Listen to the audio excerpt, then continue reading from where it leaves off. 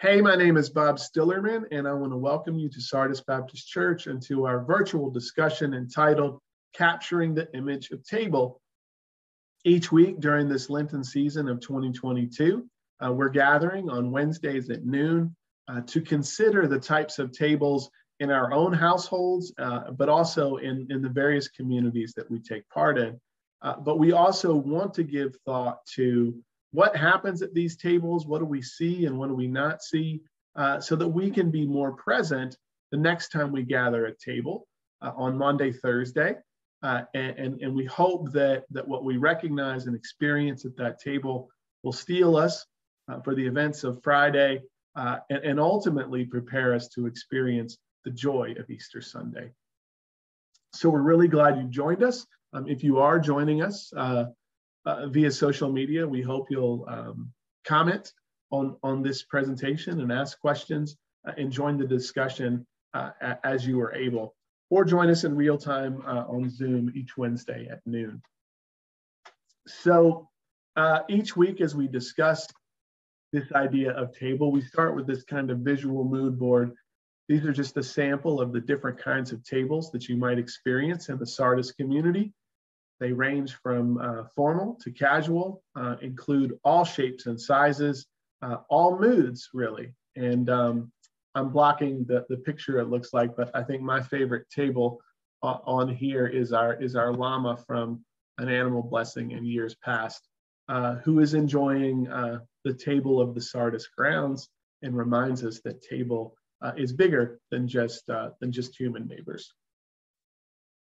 So one of the things that we did to begin our conversation uh, in the first session was to think about what happens at a table. Uh, really, what are the verbs and actions uh, that we might find at any table, but particularly a communion table here at Sardis.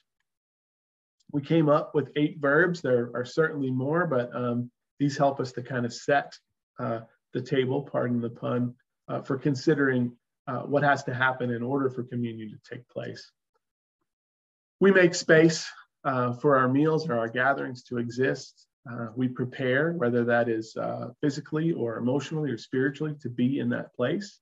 Uh, we're intentional about gathering. We share the resources that we have. We also receive what is given to us uh, with, in, in, the spirit and in, in, the spirit of which it's shared. Uh, the table also offers a chance to reflect on the things in our lives uh, each time there's a table or a meal, there's also a reset.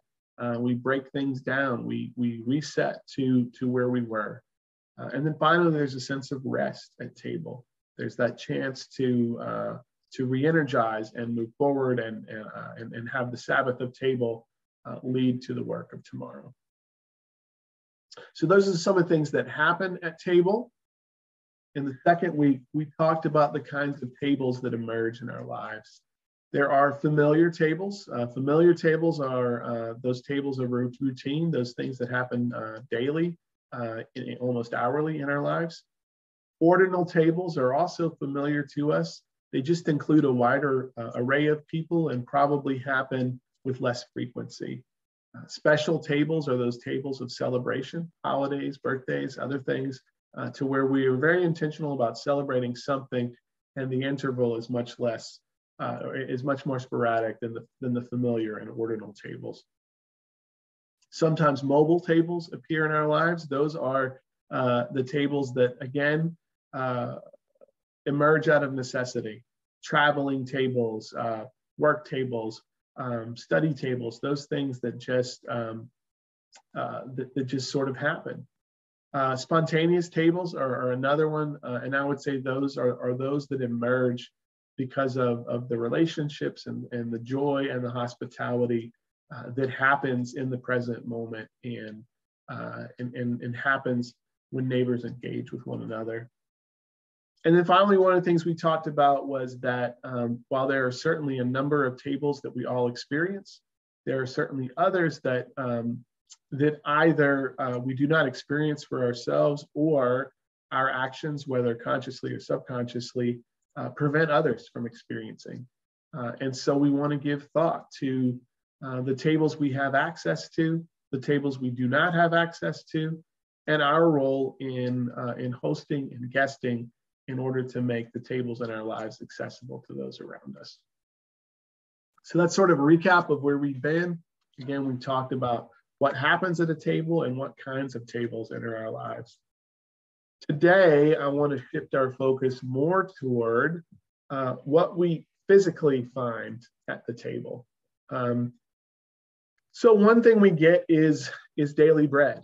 Um, that is, we get the things or the essentials that we need to thrive.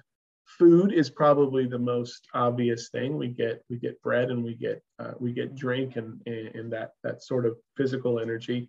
Um, but I also think it, it's fair to say that beyond food, we do need um, we do need space and we do need fellowship and we need, do need community um, to have a, a, a broader, more well-rounded health uh, and get the full experience of table. Um, leftovers is another thing we find. Um, really, you might translate that as as abundance. Maybe we don't always feel like it's abundance when we're eating uh, last week's macaroni or or green beans or whatever. But again, I think if we're doing the kind of table uh, that we want to aspire to, then that means the, the meal we have, whether that's um, the food, the fellowship, or the spiritual, physical, emotional components, all of that stuff um, is sustained well beyond the date that it's served. Um, so in this instance, leftovers are a really, really good thing. Um, in addition to leftovers, we get do-overs. Um, sometimes we do burn the casserole, um, or sometimes uh, we uh, we attempt something that didn't go the right way. I think tables are a really good space to offer grace, even when our best is not our best. And so the way I'd phrase it is the table is a place to try and to try and to try and to try again and to know, no matter what, that we are enough and that we are loved by those who we gather with, just as we are. So, daily bread, leftovers, and do overs are three things we find at the table. And how about three more? If I believe we're doing table right, we find belonging. Um, we long for spaces in our lives that offer us uh, a chance to to simply be, be who we are and so um, that means in order to have belonging, that, that spaces are accessible, there are not reservations, seats should be open. And, um, and, tables, if, if we're offering belonging, means that, that this is a spot or a, or a place setting where we can simply be comfortable being who we are. the table is also a place for dialogue. Um, I think it's really important to note that tables are not echo chambers. If we're doing tables right, and, and if we are creating a space where people feel comfortable being who they are, that means tables also, also need to be safe enough for people to offer and receive their thoughts. And so basically what that means, if we're doing dialogue, it means that dis disagreement and respect are not mutually exclusive.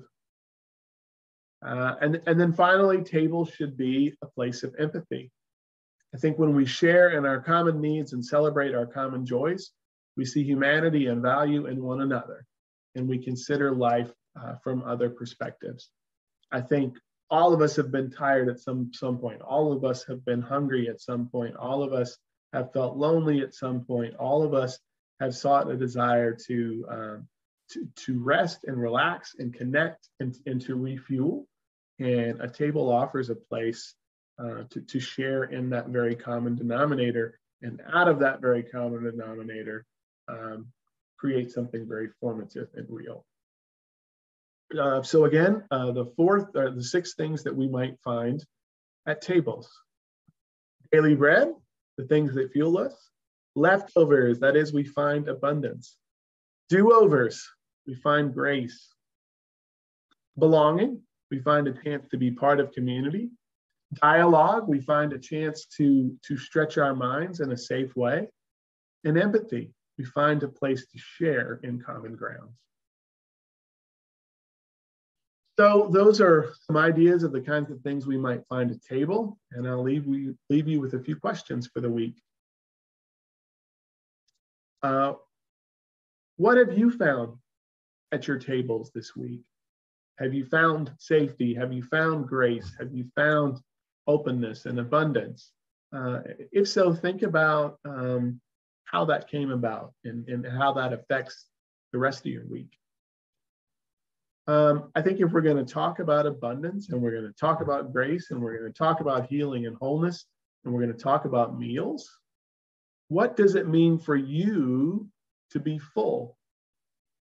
And is there a difference between uh, being full after a meal and feeling whole as a person?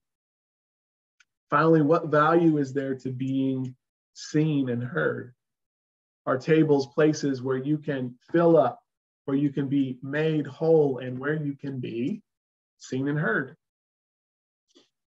And then finally, the last question to consider is how do we make tables places of discovery rather than secrecy or hiddenness?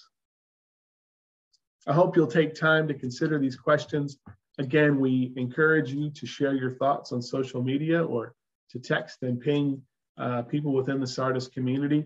The more we consider uh, what table means in our lives and, and the expectations we have for that table, uh, I think the more powerful table becomes, particularly uh, when we intentionally share at, at, at communion table uh, this coming Maundy, Thursday, and in the many weeks and months to come. Thanks for hanging around, and I hope you have a great week.